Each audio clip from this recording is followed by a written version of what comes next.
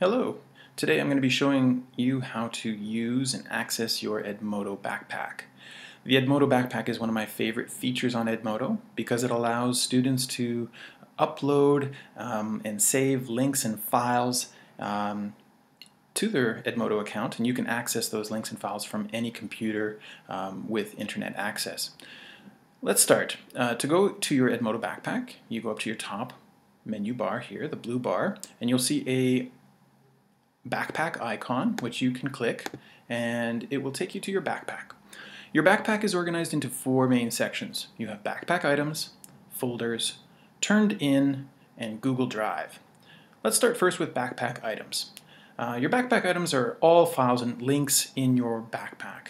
You can organize them by files or by links, and you can view them either as thumbnails or as a list.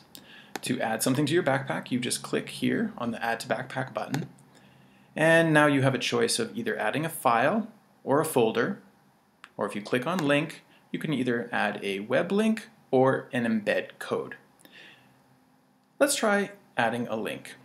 I'm going to go up here to my browser and I'm going to click on the link for Manga High. Manga High is a great math website. So I'm going to add that link to my backpack here. So I'm just going to paste that link that I copied here. Now you'll notice underneath there's a field for the title of the web page. Now if I just click off here onto the white, usually Edmodo will find that title all by itself. Sometimes it may have difficulty and you might need to type in a title of your own choosing. So this one says mangahigh.com, play maths, love maths. So I'm going to add that to my backpack. And there it is. And you can see that's right there. And if I click on that, it will open up Manga High, just as I would like. Now, the next thing I want to show you is folders. Let's go to folders over here. Now folders, uh, by default, everyone is given a favorites folder. Uh, I've also created here a folder called dinosaurs. If you want to create a new folder, you can choose new folder button here, click on that, and I'm just going to create a folder called math links and I'm going to click create. And there's my new folder here. Now I'm going to go back to my backpack item and I want to add these features here, these links here. Now as I don't have very much in my backpack I can um, simply click on one here and then you'll notice I have this all button here. I can just click on that and now all of those links are now checked. Here you'll see a folder with a plus sign. I want to add those links to other folders. So here, if I click on that, I can see add to other folders. I do have a search feature right there. If I have a lot of folders, that comes in handy. Um, I only have three folders, so it's not so important for me at this point. I'm going to click on math links. I can choose more than one folder to add these to. If these are favorites that I'm going to access a lot, I might want to click on that favorites.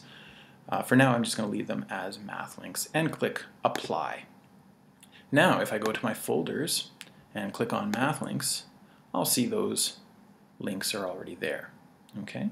I do have some folder options. I can rename a folder at some time, or I can delete a folder if I don't need it. Again, I can also choose how I want to view the items in the folder. Let's go back to folders here. Um, I can also check folders like so and I can choose if I want to delete those folders from there as well. Okay, let's move to turned in. Turned in is a great feature as, as well. Um, any assignment that you turn in on Edmodo will show up automatically in your backpack. And this is a great place to access your work um, that you've turned in. It also serves kind of as a portfolio um, and you can check in and see how your, your work has progressed through your years in Edmodo by looking through here. Uh, also, if your teacher has asked you to make revisions or turn something in again, you can access that file from here and continue to work on it again, and then resubmit that file in Edmodo. The last uh, section is your Google Drive. If you have Google Drive, you can connect your Google Drive account by clicking on the blue button here and um, accessing your account and giving permission to Edmodo to access your Google Drive. Okay, so there's one more feature I want to show you. I'm going to take you back to your home page. Now, Another feature, if your teacher has sent you a link or sent you a file, you can add that file to your Edmodo backpack very easily. Here my teacher has given me a math link for Prodigy and I can see the link right there.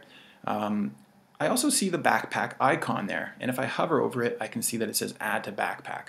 So if I click add to backpack that link has now been directly added to my backpack. So if I go back to my backpack, I should now see Prodigy, and there it is again.